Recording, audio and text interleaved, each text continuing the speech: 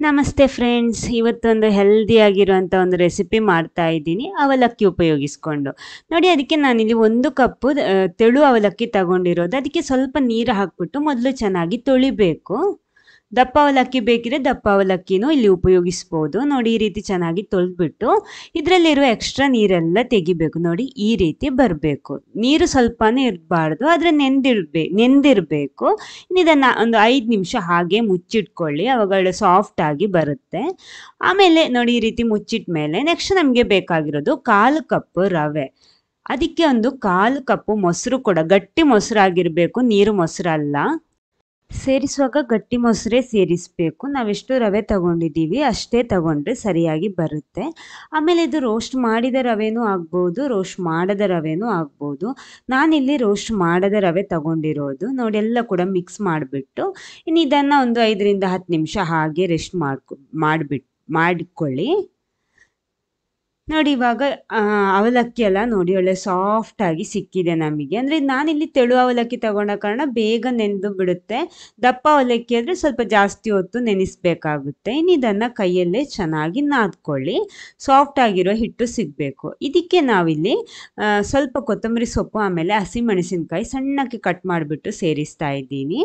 ರುಚಿಗೆ ತಕ್ಕಷ್ಟು ಉಪ್ಪನ್ನು ಹಾಕ್ಕೊಳ್ಳಿ. ಆಮೇಲೆ ಇದಕ್ಕೆ ಕಾಲು ಕಪ್ಪು ತುರಿದಿಟ್ಕೊಂಡಿರುವಂತಹ ತೆಂಗಿನಕಾಯಿ. ನೆಕ್ಸ್ಟ್ ನೋಡಿ ರವೆ ಕೂಡ ಚೆನ್ನಾಗಿ ನೆಂದು ಇಲ್ಲಿ ರೆಡಿ ಆಗಿದೆ ನೋಡಿ. ಚೆನ್ನಾಗಿ ಮೊಸರನ್ನೆಲ್ಲ ಎಳ್ಕೊಂಡು ನೋಡಿ ಎಷ್ಟು ಕರೆಕ್ಟಾಗಿ ಬಂದಿದೆ ಅಂತ. ಇನ್ನು ಇದನ್ನು ಕೂಡ ಈ ಅವಲಕ್ಕಿ ಮಿಕ್ಸಿಗೆ ಸೇರಿಸಬೇಕು.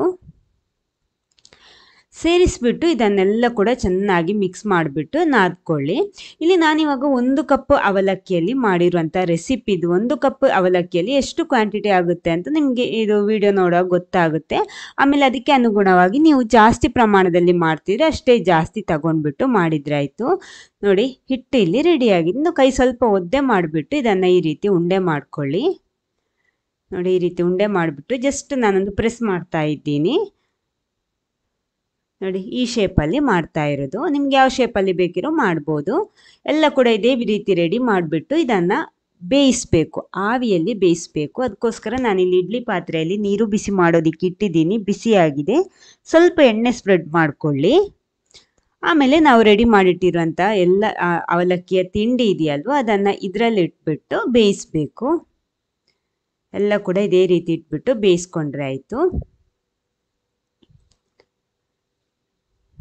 ನಾನಿಲ್ಲಿ ಒಂದು ತಟ್ಟು ಮಾತ್ರ ಉಪಯೋಗಿಸ್ತಾ ಇರೋದು. ನೀವು ಜಾಸ್ತಿ ಆದರೆ ಎರಡು ತಟ್ಟು ಎಲ್ಲ ಹಾಕ್ಬಿಟ್ಟು ಬೇಯಿಸ್ಬೋದು. ಒಂದು ಹತ್ತರಿಂದ ಹದಿನೈದು ನಿಮಿಷ ಬೇಯಿಸ್ಬಿಡಿ, ಸಾಕು. ನೋಡಿ ಸೂಪರ್ ಆಗಿರುವಂಥ ಒಂದು ಹೆಲ್ದಿ ಬ್ರೇಕ್ಫಾಸ್ಟ್ ಇಲ್ಲಿ ರೆಡಿಯಾಗಿದೆ ಇದನ್ನು ಬಿಸಿ ಬಿಸಿಯಾಗಿ ಸರ್ವ್ ಮಾಡಿದರೆ ಚೆನ್ನಾಗಿರುತ್ತೆ. ಆರಿದ ಮೇಲೂ ಕೂಡ ಟೇಸ್ಟ್ ಅದೇ ರೀತಿ ಇರುತ್ತೆ. ಆಮೇಲೆ ಇದು ನಿಮಗೆ ಹಾಗೆ ಬೇಕಿದ್ರು ತಿನ್ಬೋದು. ಅಂದರೆ ಚಟ್ನಿ, ಸಾಂಬಾರ್ ಜೊತೆನೇ ಇದನ್ನು ತಿನ್ಬೋದು. ಅಥವಾ ನೀವು ಇಲ್ಲಿ ಸ್ವಲ್ಪ ವೆರೈಟಿಯಾಗಿ ಮಾಡ್ತೀರಿ ಅಂತ ಇದ್ದರೆ ಸ್ವಲ್ಪ ಮಸಾಲೆ ಎಲ್ಲ ಹಾಕ್ಬಿಟ್ಟು ತಿನ್ಬೋದು. ನೋಡಿ, ನಾನು ಅದನ್ನು ತೋರಿಸ್ತೀನಿ. ಒಂದು ಪ್ಯಾನ್ ಬಿಸಿ ಮಾಡಿಬಿಟ್ಟು ಸ್ವಲ್ಪ ಒಂದು ಟೀ ಸ್ಪೂನ್ನಷ್ಟು ತುಪ್ಪ, ಆಮೇಲೆ ಸಾಸಿವೆ, ಆಮೇಲೆ ಬಿಳಿ ಎಳ್ಳು ಒಂದು ಅರ್ಧ ಅರ್ಧ ಟೀ ಸ್ಪೂನ್ ಹಾಕ್ಕೊಳ್ಳಿ. ಸ್ವಲ್ಪ ಅರಶಿನ ಹುಡಿನೂ ಸೇರಿಸ್ತಾ ಇದ್ದೀನಿ. ಸ್ವಲ್ಪ ಮೆಣಸಿನ ಹುಡಿ, ಒಂದು ಅರ್ಧ ಟೀ ಸ್ಪೂನ್ ಮೆಣಸಿನ ಹುಡಿ, ರುಚಿಗೆ ತಕ್ಕಷ್ಟು ಉಪ್ಪು. ಇದನ್ನು ಈ ತುಪ್ಪದಲ್ಲೇ ಹುರಿಬೇಕು ಮೊದಲು.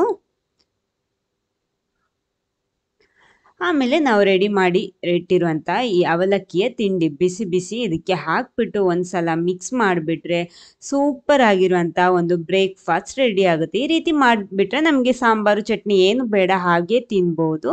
ಅಥವಾ ನಿಮ್ಗೆ ಈ ರೀತಿ ಮಾಡೋದಕ್ಕೆ ಟೈಮ್ ಇಲ್ಲ ಅಂತ ಇದ್ದರೆ ನಿಮಗೆ ಅದನ್ನು ನೇರವಾಗಿ ಸಾಂಬಾರು, ಚಟ್ನಿ ಜೊತೆ ಸರ್ವ್ ಮಾಡ್ಬೋದು. ಹೇಗೆ ತಿಂದರೂ ಕೂಡ ಸೂಪರ್ ಆಗಿರುತ್ತೆ. ಹೆಲ್ದಿ ಆಗಿರುವಂಥ ಒಂದು ಬ್ರೇಕ್ಫಾಸ್ಟ್ ರೆಸಿಪಿ ಇದು.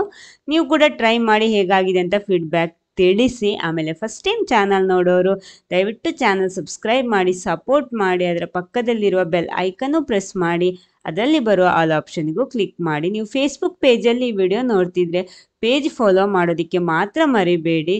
ಓಕೆ ಇನ್ನೊಂದು ಹೊಸ ರೆಸಿಪಿ ವೆರೈಟಿ ಹೆಲ್ದಿ ರೆಸಿಪಿ ಜೊತೆ ಬರ್ತೀನಿ. Okay thank you